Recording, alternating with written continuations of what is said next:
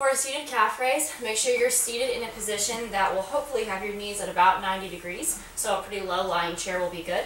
Um, feet will be flat on the floor, and if you want to do both feet at the same time, that will work just fine.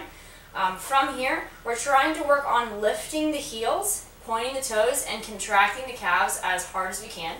Um, so we are not just passively just lifting the feet up and down. Instead, nice and controlled, squeezing those calves, squeezing the soleus, lowering the heel back down, and taking extra special care to go really slow on the descension of the heels, especially if you have any kind of tendon issue like Achilles tendinopathy or plantar fasciitis.